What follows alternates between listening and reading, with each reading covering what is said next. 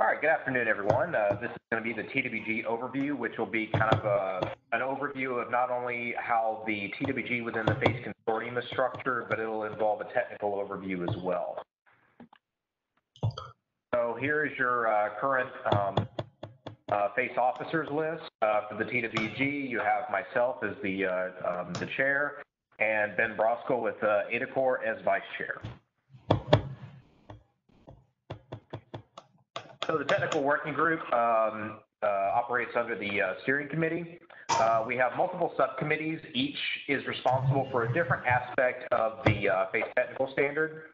Um, we have uh, general enhancements. They're the ones that are uh, responsible for programming language mappings, um, IDL uh, management, um, things like um, the, the IOSS, PCS, PSSS. You have your operating system uh, subcommittee. They're responsible for everything OSS, which if you don't know what OSS is, we'll get into that later. But basically, they're responsible for the operating systems aspect of the FACE technical standard. Uh, for security concerns, you have the security subcommittee. Uh, airworthiness concerns, uh, airworthiness uh, guidance subcommittee for graphics, graphics subcommittee, um, everything having to do with the transport uh, layer involved in the face technical standard. You have a transport subcommittee. CVM, uh, they develop and maintain the, CV, the CVM, aka the Conformance Verification Matrix. You'll learn more about that in the Conformance Overview.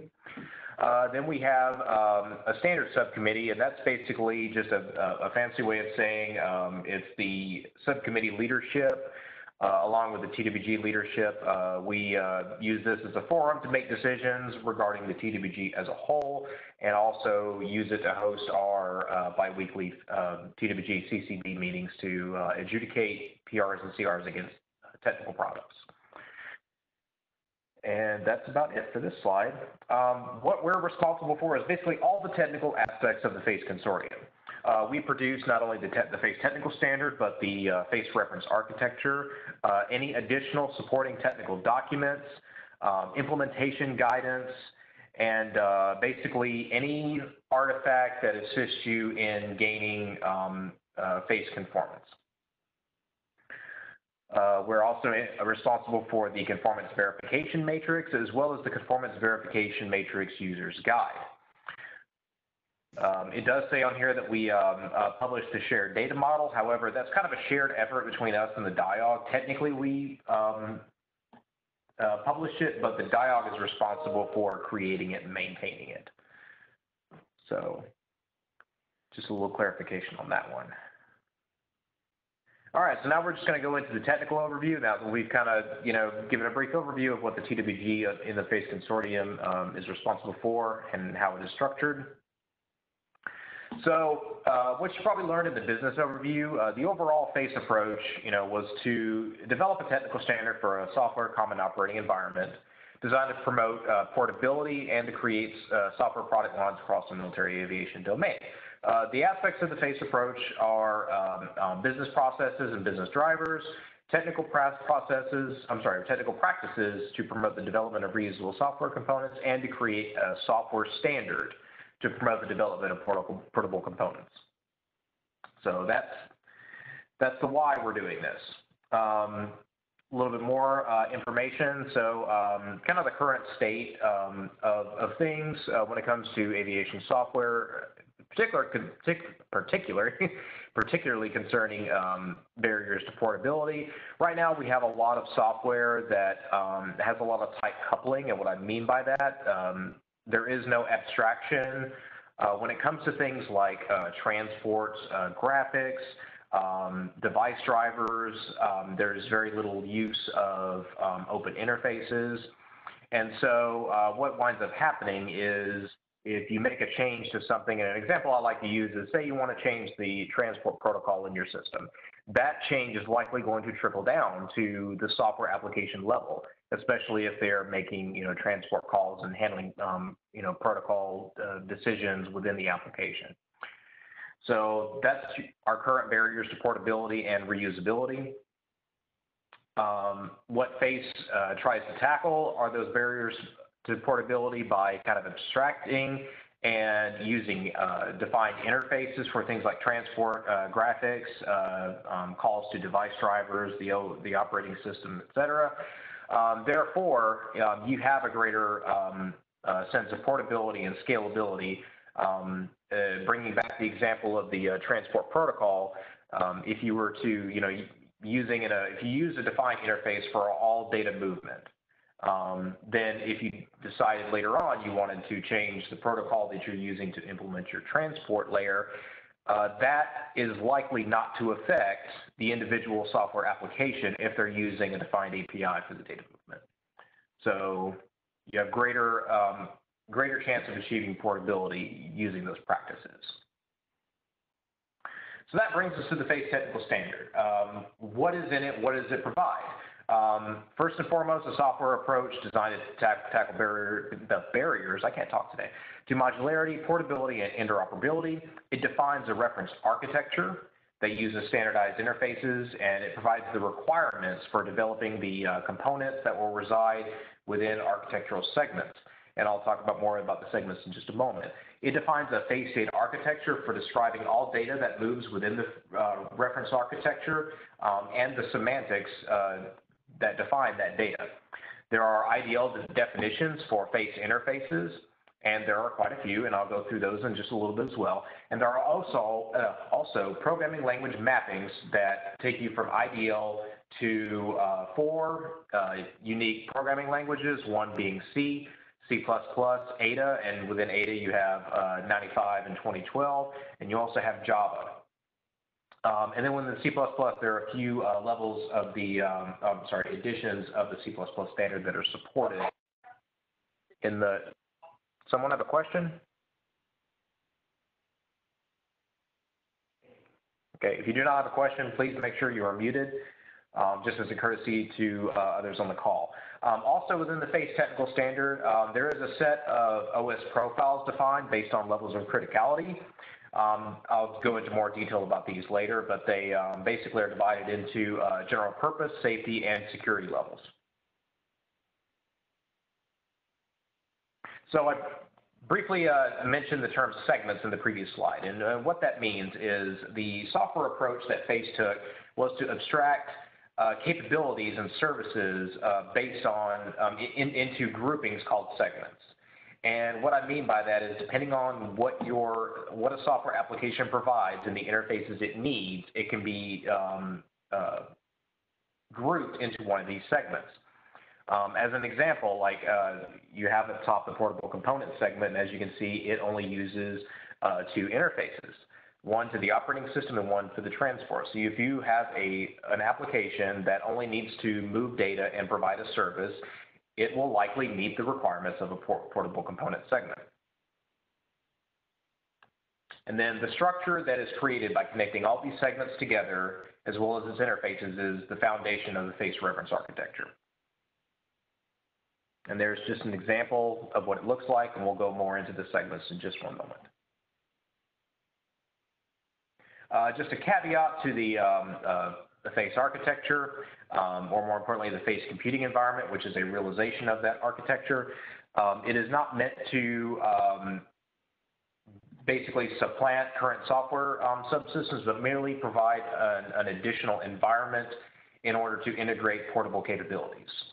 So you don't have to go out and buy a whole new piece of hardware, buy a whole new uh, operating system. It's very likely that the operating system you have now uh, provides uh, the infrastructure that you need um, for the face computing environment. Now, there's no guarantee, but it, it, it is a likely scenario.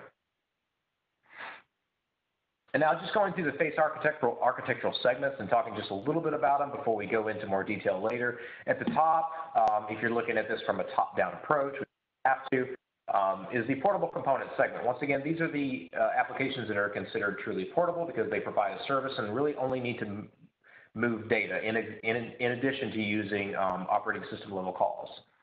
Uh, the transport services segment, this is where you're going to abstract all of your uh, transport logic. Um, and you can do this in a variety of ways, uh, using one UOC, many, but any, but all of your capabilities um, concerning how um, how the how the face architecture moves data around is going to be within this segment. Um, the platform-specific service segment. This is kind of like a hybrid one. Uh, it extends the portable component service uh, uh, portable component segment in the fact that it provides a service or a capability, but also can move data um, in and out of um, uh, the, IOSS, which the IOSS or IO services segment is meant to provide uh, services to either provide or retrieve data from an external means. And what I mean by external means is it can be either hardware, a device driver, or uh, an external bus.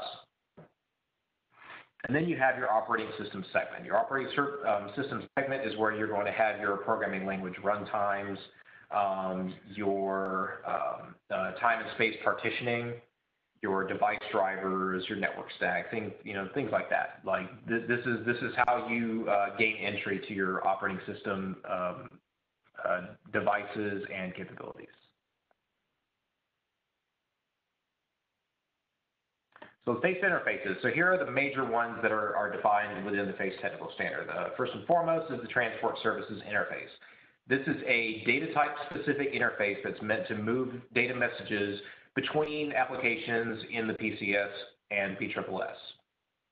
So basically, um, if you need to provide um, communication between PCS and PCS or between PCS and PSSS or vice versa, you are going to use the transport services interface. And it is typed according to um, a specific modeled message, which we'll get into a little bit later as well. Um, and all logic having to do with moving that data is encapsulated within the, the, UOCs that make up the transport services segment. And when, what I mean by UOCs is the software applications within the transport services segment. Then you have the IO service interface, which provides an interface to provide data movement and uh, external access to and from devices or external hardware. We kind of touched on that in the last slide. Basically, if you need something from an external source or need to provide something to an external source, like uh, a message from a radio or a command to a radio, those are two popular examples. You're going to use an IO service or a software um, capability that uh, provides a service located within the IO services segment. And then the OSS interface, this just provides a standardized means for the software to use the services within the operating system and other capabilities related to the OSS.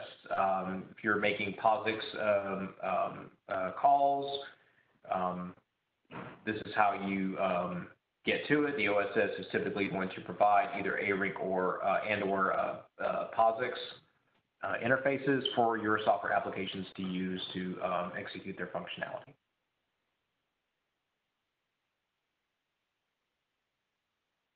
All right, some uh, FACE terms for, soft, um, for software.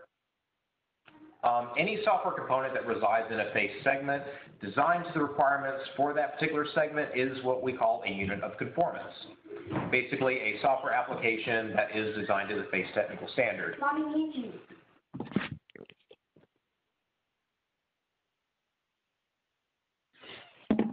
Sorry about that. Um, a, a piece of software may be referred to as a unit of conformance at any time during its life cycle. Um, it is not considered a conformant unit of conformance until it goes through the FACE conformance program. Um, as a subset of units of conformance, you have um, um UOCs that communicate with the TSS. If a UOC communicates with the TSS, it must provide what's considered a unit of portability supplied model which uh, rules for how to construct it is are featured within the face data architecture. Um, the the ability to host and integrate face software components is dependent on what's called a face computing environment, which is an implementation of the following segments, the face TSS, the face IOSS, and the face OSS, as well as common services required for operation. So all the units of conformance that, that provide those four things are going to make up the face computing environment. And basically, face computing environment is just a fancy way of saying you have all of the capabilities there to integrate PCS and PSSS's, aka your capabilities and services. So diving a little bit more into um, uh, the individual segments, uh, starting with the portable component segments, um, this is where, once again, your applications that are truly, uh, truly portable or considered as portable as possible are going to reside. They provide a service and uh, require only the operating system and the transport service, uh, more importantly, the, the TS API in order to migrate data. So if they have anything else, any other needs like uh, uh, getting uh, data from a, um, a radio, they are not going to um, be considered part of this segment.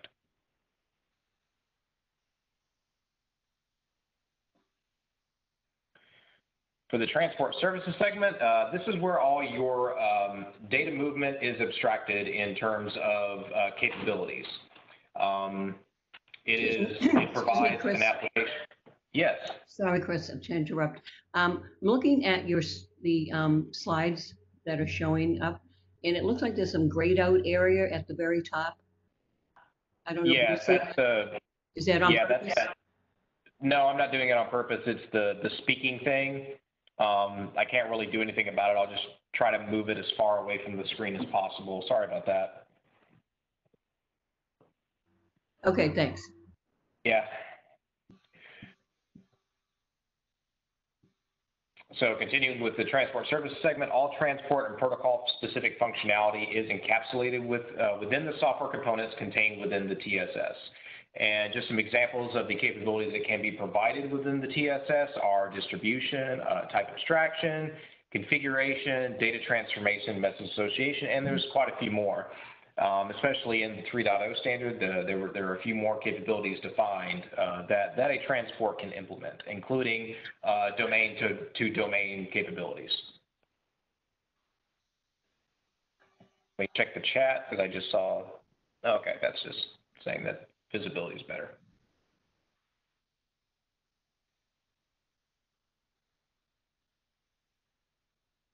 Okay, and this is just a uh, kind of a graphic example uh, showing things from kind of an integrator point of view.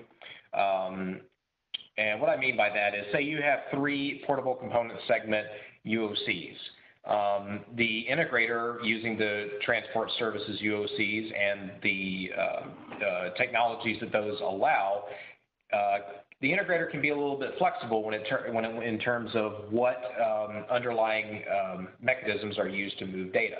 And so in this example, you have PCS1 that only needs to move data. So it um, uses the distribution capability and moves data using um, UDP sockets. And it does that by using the OS API.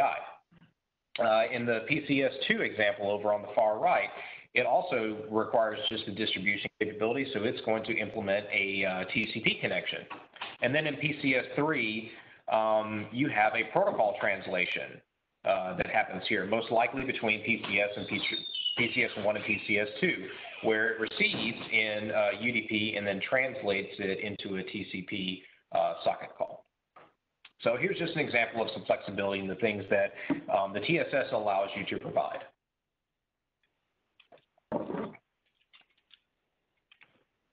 Moving along to the platform-specific services segment. So this is where um, your software components that are unique to the platform are going to be housed. Um, things, things that are dependent upon an ICD, um, things that uh, provide a common service like logging, device protocol mediation, uh, centralized configuration, things like that. Um, also graphic services, um, things that have to interface directly with a graphics driver are going to be provided uh, within, this segment. And because of the array of different capabilities that can be um, uh, encapsulated here, you have subsegments within the PSSS. You have your platform-specific device services. This is where the majority of your PSSS UOCs are going to uh, reside, is in your device services. And what I mean by that is the things that um, provide uh, uh, movement of data between uh, a PCS and uh, and an external device or an external bus via the IO um, IO services uh, interface and the TS interface. And then you have your platform-specific common services. This is, you know, I use the examples of logging, uh, DPM, centralized configuration, things like that. Um, and then your graphic services. Um, now, graphic services can reside in your PCS as well, but the difference is, is whether they, they need direct access to the, the uh, graphics driver. If they require driver access, typically they're going to be um, reside in the PSSS.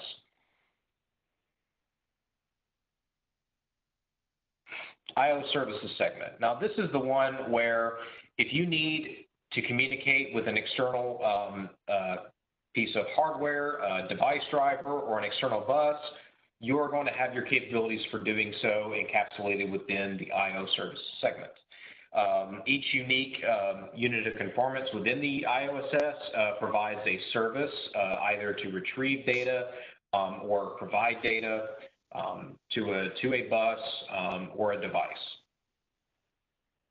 Um, an example of this is if you uh, wanted to implement a service that uh, writes data out to a Victory bus, you would, you would implement that software capability within the IO services segment.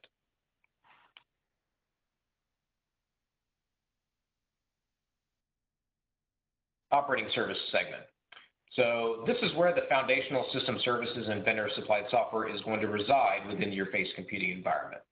Um, it supports the execution of all the FACE components within your uh, FACE computing environment. All other segments rely on the operating system segment. It defines a set of APIs that provide a standardized means for FACE software to use the services within the operating system and it defines the OSS interfaces uh, um, based on a series of profiles, general purpose, safety, and security. When it comes to uh, your POSIX and uh, ARINC APIs, uh, general purpose being the most, uh, for lack of better terms, liberal when it comes to the um, function calls that you can um, use. Uh, safety is a little bit more stringent, and then security being the um, most restrictive in terms of the things that you can use. Um, just an example of um, other capabilities that would be limited by profile. Um, time and space partitioning is required for safety and security profiles, whereas in general purpose, the only requirement is space partitioning. Time partitioning is considered an optional capability within the general purpose profile. And then in the graphic below, you have some examples of units of conformance that would um, uh, be provided by the OSS, because once again, this is a component-based standard, so everything is at the lowest software um, application or software component level. So UOCs that would be in the OSS would be uh, your health monitoring fault management uh, UOC, if you're using uh, POSIX to do your, um, um, your um, health monitoring. Programming language runtimes, this can be for C, C++, Ada, or Java. Uh, any component frameworks um, that would, need to be provided. Uh, configuration services is another um, unit of conformance which also provides an API. And that API is available to all other uh, UOC types based um, regardless of segment. So that's just a little bit about the operating, operating system segment and the capabilities that it provides. So now that we've kind of gone down uh, a list of what all is in within the FACE technical standard, which once again, you have your segments, you have your requirements for uh, uh, designing and implementing units of conformance within those segments, um, as well as uh, best practices for how to do so. And then here's uh, just some differences between the two major standards that we have um, that we are uh, um, currently maintaining. in FACE 2.1, uh, the only optional interface was the type abstraction interface for the TSS, and all the APIs were defined as a set of procedural functions. Uh, the only expectation that, integrators had um, um, were to uh, resolve uh, linkage with FACE libraries in addition to tailoring external client to specific UOC uh, needs.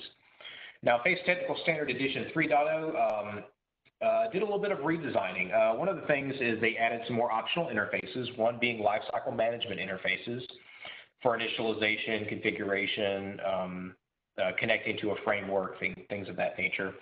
Uh, and then in the TSS, there were two other capabilities added, each that provides an API.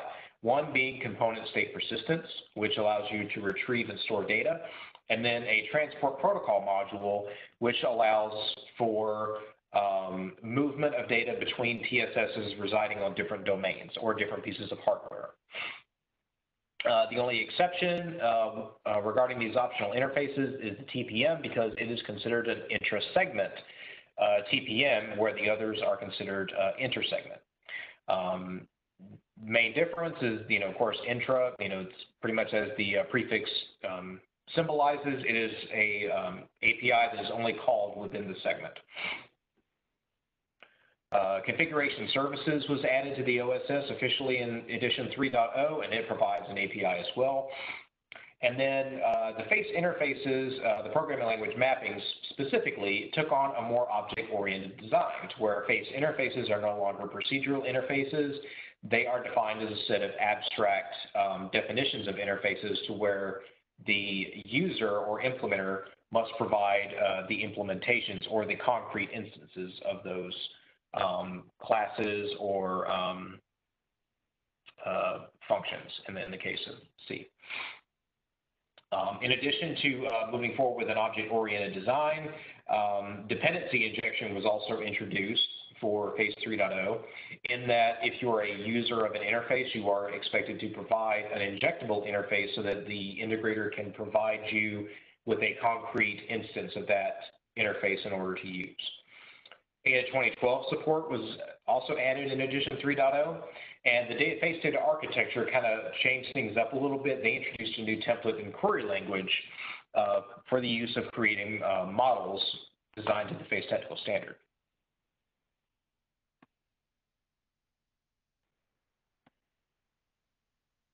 Now we're going to talk a little bit about, about the face data architecture. And now this is only kind of a little bit of what's going to be covered in the face, um, face data architecture overview, which I believe will be tomorrow. Um, so if you have any specific, like down in the uh, weeds questions, please save those for uh, the experts that will be going through all this tomorrow. Um, they um, will go into a little bit more detail as to the hows and whys. Uh, but this is just to provide more context as to what all is in the FACE technical standard. So the FACE technical standard also defines a FACE data architecture, and it consists of the following elements. One, a data model language. Two, a set of data model language binding, bindings that map uh, data model language elements to each of the supported programming languages, being, being C, C++, and Java. Um, the face data architecture also defines a shared data model, which provides the building blocks of all unit of portability supplied models, as well as domain-specific data models. Also, the face data architecture uh, consists of the rules for construction of UOP supplied models, aka USMs, and domain-specific data models, aka DSDMs. Um, a little bit more about the shared data model. Uh, once again, it, it is the foundation for which all other models um, aligned to the FACE technical standard are um, created. The USM is intended to extend the SDM and define uh, FACE unit supportability and describe the data that the UOP sends and receives. And then a DSDM is a, um, a way of capturing domain-specific semantics without defining specific software elements, aka UOPs. But it does define uh, message messages as well as um, semantics for describing those messages. So the um, aspects that are produced by the um, CWG, um, one, the FACE technical standard. Within the, FACE technical standard, you have the uh, the meta model and OCL constraints. Um, which are, you know, basically govern how the USMs are constructed. You also have the uh, shared data model govern governance plan, which is a separate document. Uh, the shared data model is also separately um, separately published. Um, and then the two two examples of products um, that were built using um, everything I previously uh, stated are the UOP supplied model, and which is the one thing that is new to FACE 3.0 is an integration model, which is built by system integrators. And here's just a um, uh, an in-depth view of um, a uh, UOP supplied model. The aspects that are provided by the shared data model are going to be the conceptual data model and the logical data model. Uh, what you are expected to provide within the USM um, that describe your data and the uh, software applications that are going to use it are the platform data model and the unit of portability model. And what you're expected to use this USM for is for things like uh, configuration, code generation, um, and things of that nature. Like I said, the face um, Face Data Architecture Overview will explain these far better than I can. And here's just an, uh, an overview of all of the um, aspects defined in each of those model levels um, and what you're expected to add for your UOP supplied model. Um, I won't go through all of them, but um, uh, take the conceptual data, conceptual model, for example. You're going to be have defined in the shared data model a um, list of observables, and what you're expected to use those for in your UOP supplied model is for in your conceptual model to define entities and entity associations that um, uh, define um, um, elements that realize these observables. Um, down at the platform model, um, here's where you're going to have your IDL primitive types that are provided by the shared data model and what you're expected to do in your UOP supplied model, um, further expand on your entities and associations, but also define IDL types that map to um, um, define types in your entities and associations, and also define views for describing your data messages. And then in your UOP model, this is so, so solely where the USM comes into play. You are going to define platform-specific components and portable components um, and assign them ports depending on um, whether they're incoming, outgoing messages, and those will map to a view, which is, in a sense, a data message. So once again, uh, the FACE data architecture overview will go into these in a lot more detail and provide better explanation. So um, one question I get, um, or one popular question that gets uh, tossed around is, what are you expected to do with a USM? Well, here's how this relates. This is how this relates to the um, FACE reference architecture. Your USM generates this interface, the TS interface, um, because every TS interface is typed to a specific message. And once you um, are a little bit more familiar with the standard, you get a chance to see uh, some code and you know some types generated off of a USM, this will make much more sense. But this is how the USM fits within the FACE reference architecture.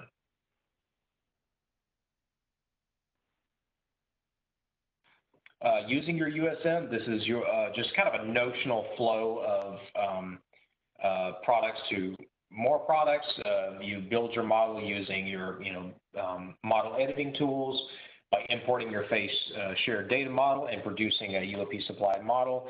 And you can use other tools in order to generate code and your TS interfaces, um, as well as other artifacts um, if, if the tool allows it. Um, the uh, FACE conformance test suite is an option out there to be used to generate types and um, interfaces.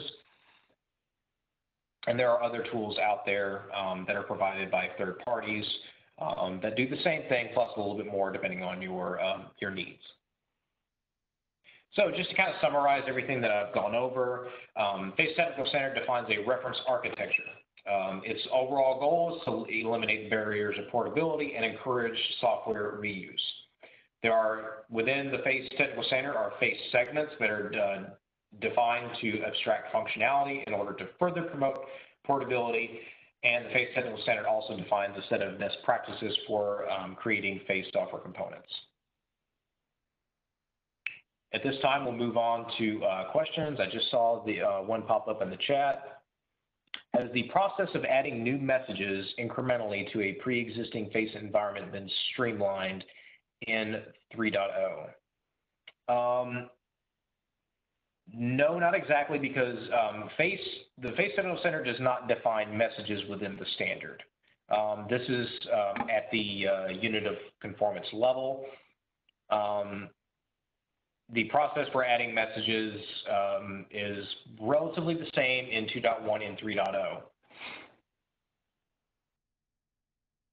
That sort of uh, sort of answer your question. I know there's uh, technical standards out there that do define messages, and in each uh, edition of the standard that comes out, uh, more um, messages are added, but the, um, uh, the purpose of the FACE Technical Standard, and more specifically the FACE data architecture, is it allows uh, software suppliers um, and um, uh, integrators uh, to define their own messages. However, if you define a message, you have to, you know, define the semantics that go with it. So that further, um, you know, moves towards the need for a FACE data architecture.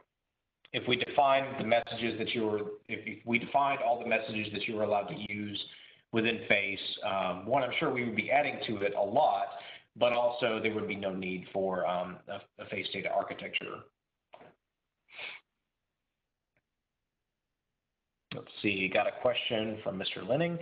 Uh, while compilers are generally off-the-shelf items, are the other tooling for using FACE generally available, especially with respect to shared data models and writing code?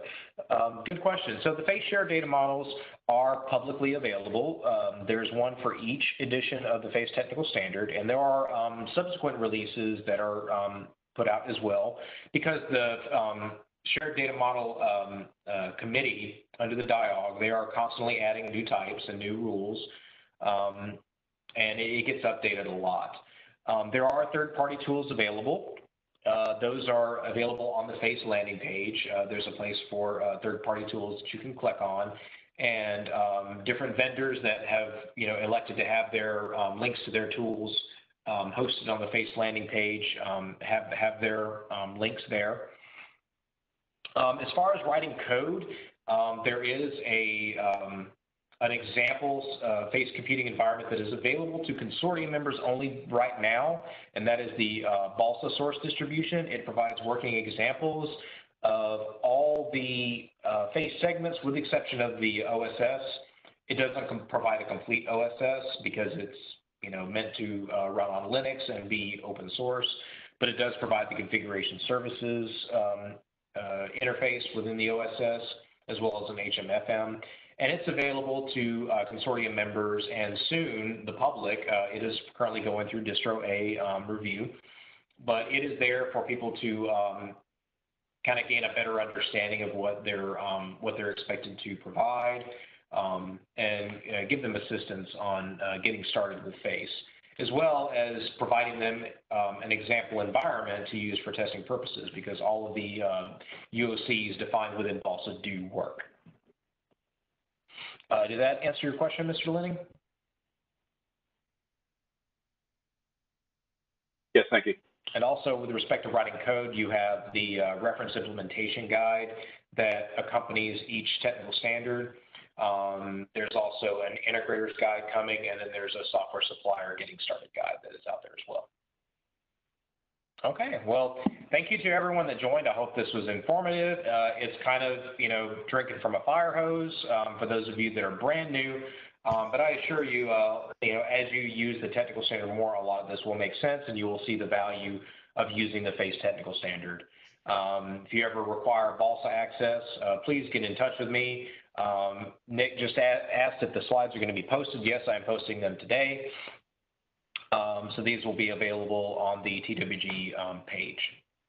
So thank you again, everyone, for joining, and I hope you have a wonderful day and that um, all the follow-up meetings uh, the next few days are productive.